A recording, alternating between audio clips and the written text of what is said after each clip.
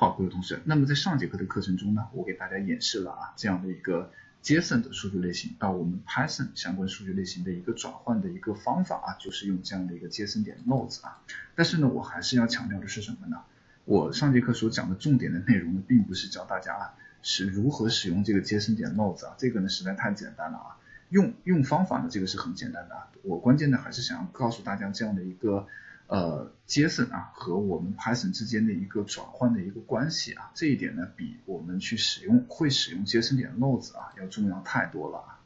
呃，我们上节课呢只是啊做了三种数据类型的一个转换啊，一个是对象 Object，一个是这个数组 Array，然后呢还有一个这样的一个布尔类型的一个转换啊。然后呢我这里呢给大家整理了一个列表啊，左边的呢表示呢是 JSON 啊它的这个。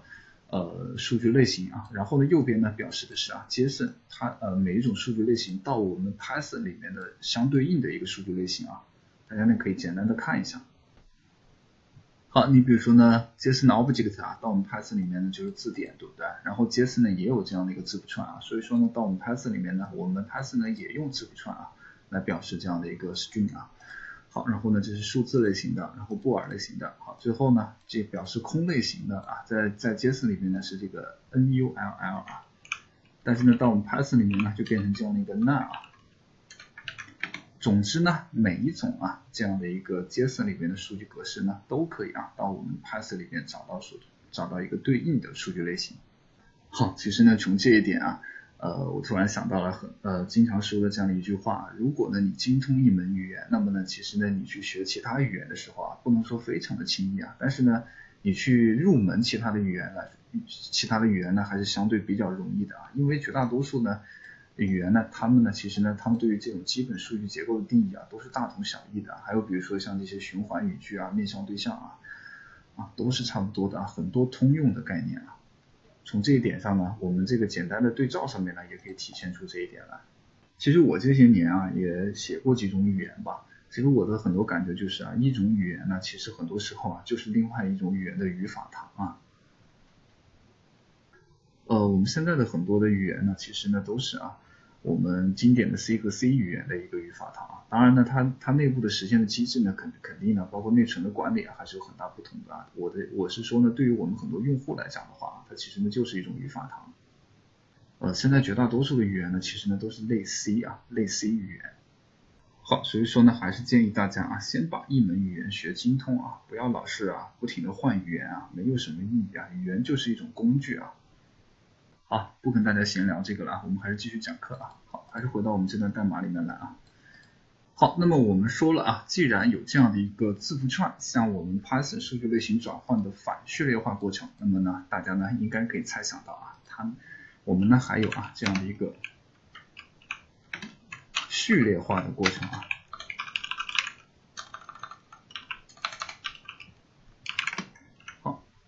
好，那么啊，反序列化我们知道是什么？那么序列化顾名思义呢，就是啊，把我们 Python 的数据类型向 JSON 字符串转换的一个过程，我们称作序列化。好，那么啊，序列化呢，我们就啊不再做过多的这样一个讲解了啊，因为实际上呢，它呢同样啊是调用了这样的一个 JSON 模块上面的一个函数啊，我们看一下是哪个函数。好，我们到我们的另外一个文件里面啊，来看一下这样的一个序一个序列化的过程。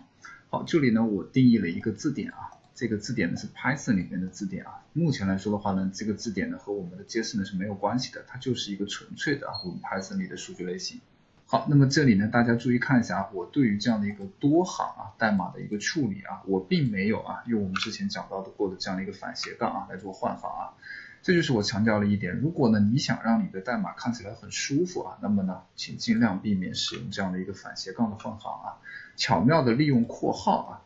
来做这样的一个换行。好，那么这个反序列化呢是 JSON 字符串向我们 Python 数据结构转换的一个过程，所以呢序列化的过程呢就是一个相反的方向啊。我们现在呢需要啊把我们 Python 的这样的一个字典啊转换成 JSON 字符串。好，同样呢，我们需要啊来引入这样的一个 JSON 模块，import JSON。好，序列化的方法呢是这样一个 JSON 点 Docs 啊。好，它呢接收一个 object 啊对象，对不对？好，那么我们要说的是啊，我们字典呢也是一个对象，所以说呢，字典呢是可以啊，把它放到这个里面来的。好，那么同样啊，我们这里呢用一个 JSON str 啊来接收一下这样的一个结果。好，打印一下 JSON str。好，我们来运行一下，这个呢是 c 二十一点 py。好，我们可以看到啊，现在成功的呢转换成了 JSON 字符串啊。我们可以验证一下是不是啊这样的一个字符串的格式啊。我们在我们的终端里面显示的呢，其实呢是看不到的啊，你是看不出来它的数据类型的。好，好，确实啊是这样的一个 str 字符串。好，那么以上的啊这样的一个字典向 JSON 字符串转换的过程呢，我们呢就把它称作啊叫做序列化。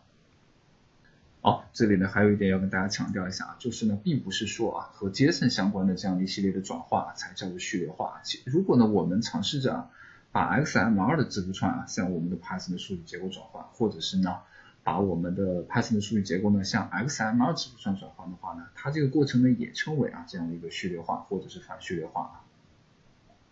这里呢顺便跟大家聊一下，扩展一下大家的这样一个知识面啊。呃，我最早的时候啊，接收这接呃接触到这样的一个序列化呢，这个名词呢，是我当时编程的时候啊，上大学的时候编程的时候遇到一个问题啊，当时呢是思考的是，哎，我怎么样的啊，把一个对象啊，当时是做点 net 啊，怎么样把一个 C sharp 里面的对象存储到我们的数据库里去呢？我们的数据库呢是一个个的二维表啊，它没有办法去表示这样的一个对象的结构，对不对？好，所以说呢，一个方法呢，就是啊，你把对象呢序列化成这样的一个 JSON 字符串或者是 XML 字符串啊，然后呢，把字符串呢存到这个数据库里去，然后呢，当你要需要这个呃对象的时候呢，你把这个字符串呢从数据库里读出来，然后呢再进行反序列化的过程啊，这个呢是当时的一个，当时呢确实我是这么做的啊，但是呢这个呢不可取啊，因为效率太低了。呃，这个 MySQL 数据库啊，或者是其他类型的数据库啊，还是比较适合去存储一些啊比较简单的数据结构啊。像对象这种东西的话呢，你应该啊把对象拆成这样的一个二维表结构啊，也就是说呢，把这个对象呢分成呃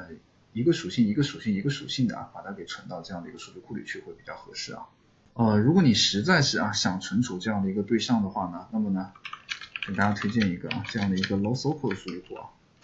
现在用用的比较多的这样的 LowSQL 数据库里面是这个 MongoDB 啊，好，这样的一个 MongoDB 啊，MongoDB 呢比较适合去存储这样的一个序列化后的对象啊，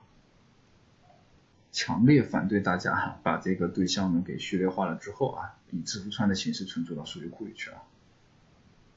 好，那么这个呢想到这里呢，就跟大家呢扩展一下啊。呃，听不懂的同学呢没有关系啊，这个呢和我们 Python 的学习呢没有什么太大的关系。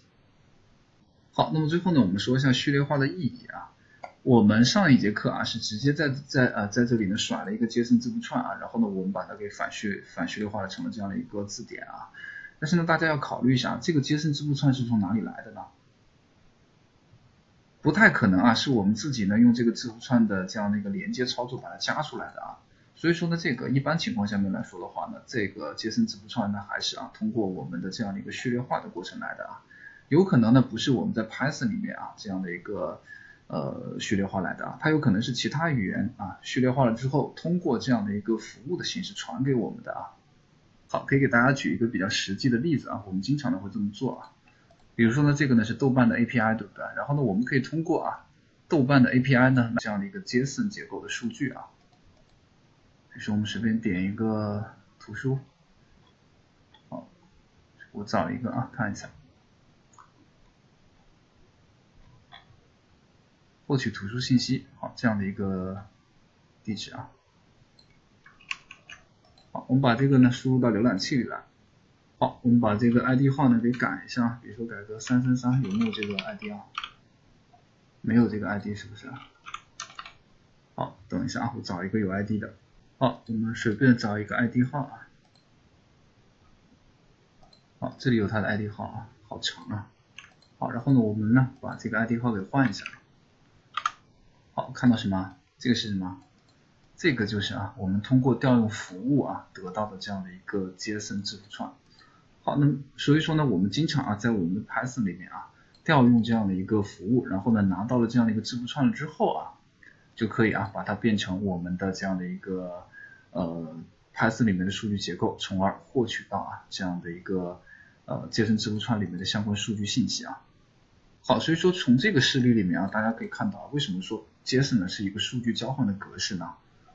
我们我们可以可以可以明显的看到啊，这个数据呢从这个豆瓣的服务这里啊，以 JSON 格式的形式呢流流向了我们自己的这样的一个浏览器这里啊。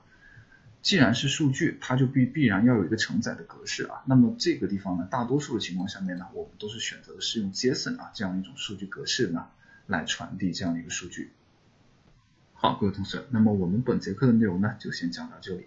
呃，下节课呢，我们啊对 JSON 里面的一些理解和误区呢，再做一个总结啊。好，同学们，那么我们下节课再见。